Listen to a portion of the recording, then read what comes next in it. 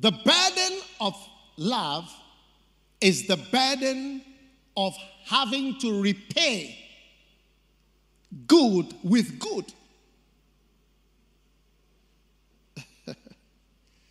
yeah. The burden of love is the burden of having to repay good with good.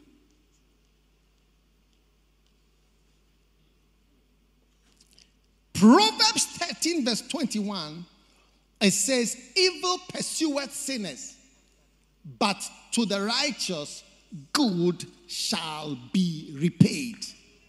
Good must be repaid. Good is something that must be repaid. If somebody does good to you, it must be repaid. Maybe you don't, you are not aware that good must be repaid.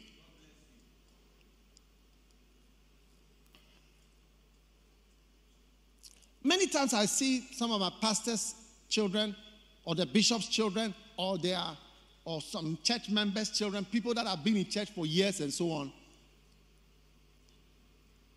When I see the child, because many times you cannot repay good to someone who has done good to you, but sometimes you can repay his child. it's true. Sometimes you can't you can't repay someone because maybe you may not have the chance. But you have sometimes a chance to, to somewhere, somehow repay good for good things that have been done for you. I mean, it may, to me, my pastors are my family.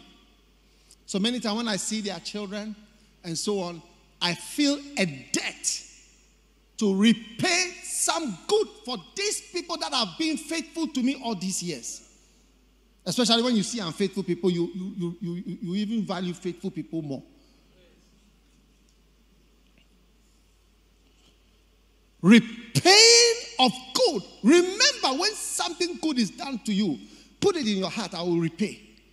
I will repay this thing, what you have done for me. I will repay you. God will give me a chance to one day say thank you and repay a good that has been done to me. Have it in your mind and in your heart. The Bible says that for the righteous man, good shall be repaid. God has done so much good for us. Look at you sitting here, decent, come to church with nice whatever. we sit as if there's nothing to do. Huh? You sit as if there's nothing to do. We must spend our life repaying the good that has been done to save us, to save our lives, and to save our souls. You see, when you see this young man, uh, uh, come back. My question is, why him? I, I don't know. Do you know? Can you tell us why you, your friend's funeral? He had two best friends.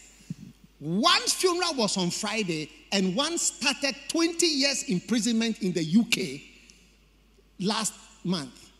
So, my question is so, you, what is special about you? Can you tell us any differences? I, I was, I was even worse than. than you friends. were worse than them. Than them.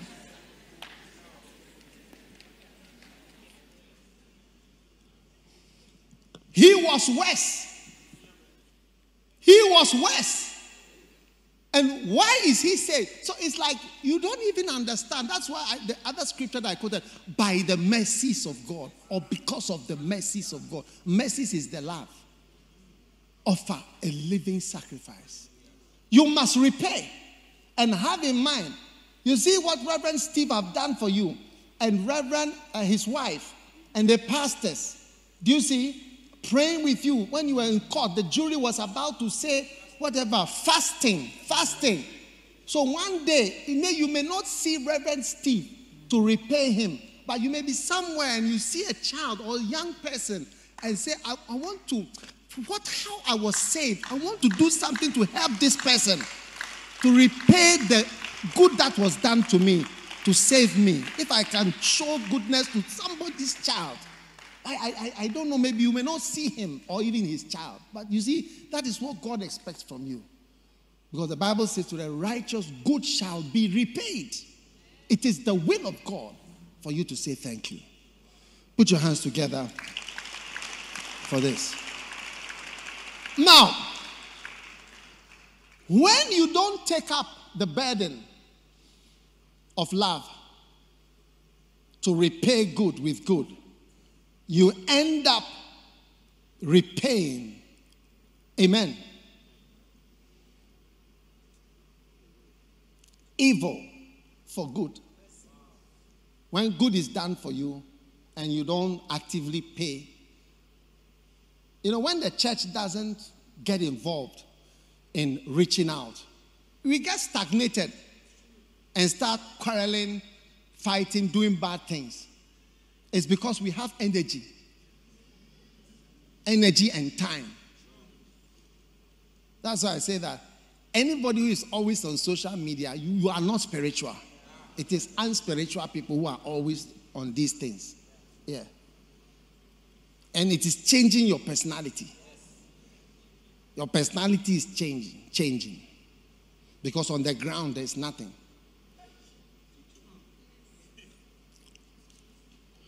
Now, the Bible says that don't pay evil with evil.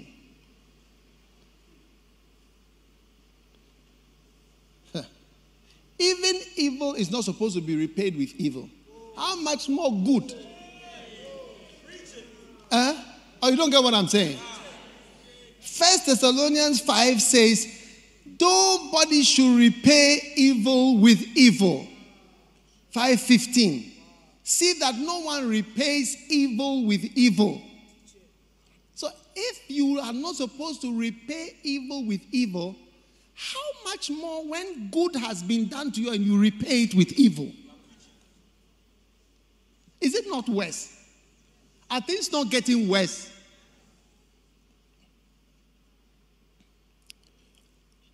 Be careful, there is a burden of love on you.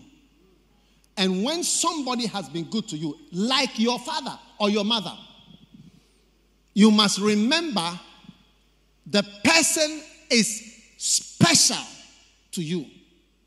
Even if you think your father has not done anything good for you or your mother has not done anything, your mother could have dropped you when you were a baby. And almost everything that a parent has done for you, you don't know really.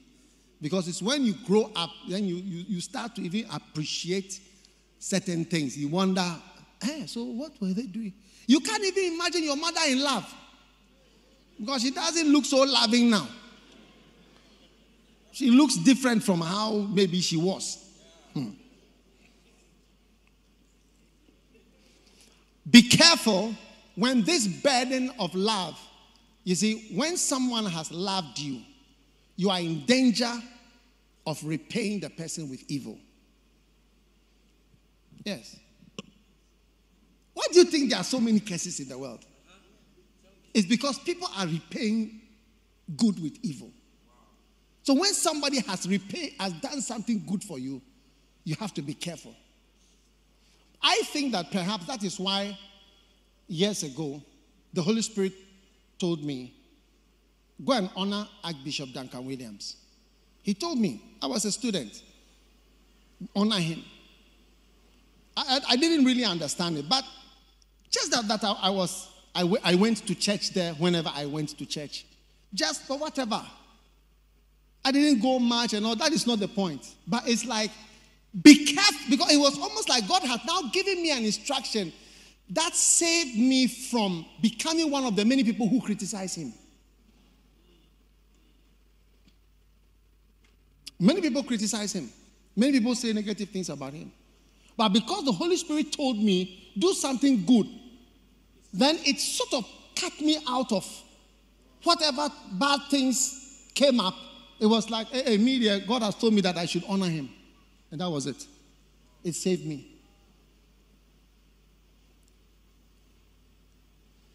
Be careful. Many parents, if you are not having in your mind, I owe my parent, you'll be surprised how you behave towards your parent. If you don't have it in your mind, I owe my mother and I owe my father. I owe my mother. It's a burden for the love they have shown me. That my mother has loved me, my father has loved me and cared for me and taken me to school. I have a burden, a burden to repay good with good. And if I don't have that in my mind, before you realize you are repaying good with evil, many children fall into that curse. And many scriptures are against you. Psalm 7, verse 3. Oh Lord my God, if I have done this, if there be iniquity in my hands, if I have rewarded evil unto him that was at peace with me, yea, I have delivered him that without cause is my enemy. Without cause. Let the enemy persecute my soul and take it, and yet let him tread down my life upon the earth and lay my honor in the dust. Selah. That is, if in case I will rise up to repay good with evil. Instead of the church languishing in its prosperity and forgetting about soul winning, a lot of evil has increased in Ghana. Today, almost every day you hear of murder. Murder, like it's something that has not been in Ghana and it's a sign of the presence of the devil. Bible says Satan was a murderer from the beginning. All our preaching has not changed much in Ghana because the population is also increasing. There is more evil in Ghana from, than when our church started. All the preaching, all the branches we've done, and all the crusades we've done, ha, uh, I believe that it has done some good, but it looks like compared to the growth of the evil, it's almost nothing. We have a debt. We have a debt. We have a burden. We have a burden because he's loved us. God so loved the world. Don't joke with that verse again. Say, God so loved, I receive a love. No. It's a serious thing. When a man comes to you and says, I love you, you look at him up and down. Can I do this work? Can I do this work? Amen. The burden of love in Luke chapter 13. The burden of love is the burden to be real and not a hypocrite. When somebody loves you, you owe the person a burden to be genuine.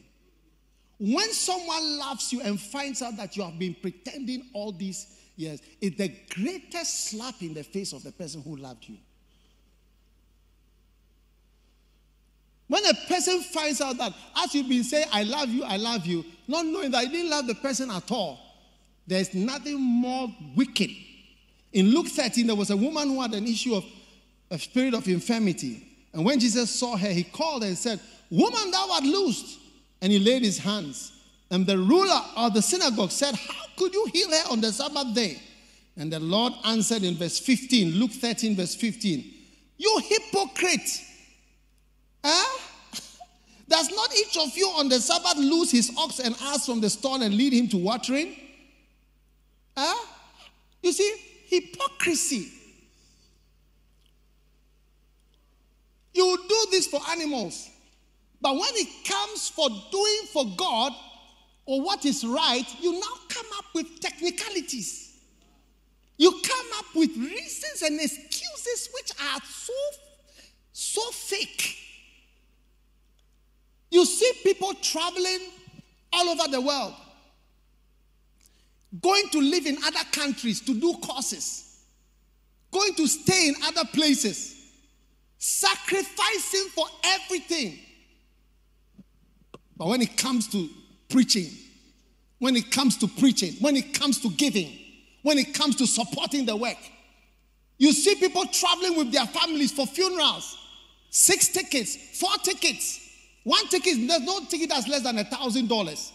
You see them coming. When they have to give thousand dollars or to give something, oh, it's not uh, whatever, technicalities.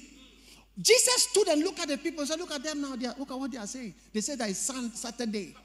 So they can't, it's not the right time. They should have waited for uh, about eight hours more before you heal. And you come up with technicalities and reasons why not. You say that the pandemic is whatever, but during the pandemic, you see people traveling. Somebody told me the other day, She was at uh, Doha Airport, Qatar Airways, full up. United Airlines, full up. Delta, full. Every airline, full. They are traveling as though, I mean, there's nothing like a pandemic. But when it comes to God, oh, it's Saturday, it's Saturday, it's a, oh, it's not the right time, or there's some, you know, when somebody loves you, be real, eh? stop your pretense. People who are intelligent, they see through fakeness. They see through lies. They see through pretense. They see through excuses. You see somebody making it, you just look at the person after that, you pity the person. Let's stop pretending. Look at us young people. You say you can't work for God at this time. You just came to church. What do you do? What do you spend your time doing? Your father sent you to school. Look at the things you do outside school. Some don't go to school, they don't go for lectures for the whole term. Just the last two weeks, they sit down and they learn to pass exams. Stop pretending that you can't do things for God. You can't work for the church. You can't work for God. Stop the pretense and the fakeness. You can't give to healing Jesus. You can't travel. You can't do this. You can't do this. What are all these fake things? Why do you behave fakely and pre- pretend, full of pretense towards someone who loves you or who even likes you? Why? Why are we so full of pretense? So it's Saturday, so we can't heal. Why? What is it? What is it? When I met one of our little ch- children, we go to Kumasi for uh, students something. Don't know anybody there. Go and do everything that can be done. Two days and come back. Meanwhile, you are a student. Your, your mother knows you are in school in Accra. You've done everything that can be done. No. You owe to the one who loves you to be real, genuine, without take off all the mask, take off all the acting. When you marry in real life, there's no acting. The, head will go off, the this will go off, this will go, that your face is washed, whatever. All these things that are painful, painful shoes will be off, everything will be off. And just the you. Uh-huh. Face to face. I said, well, face to face.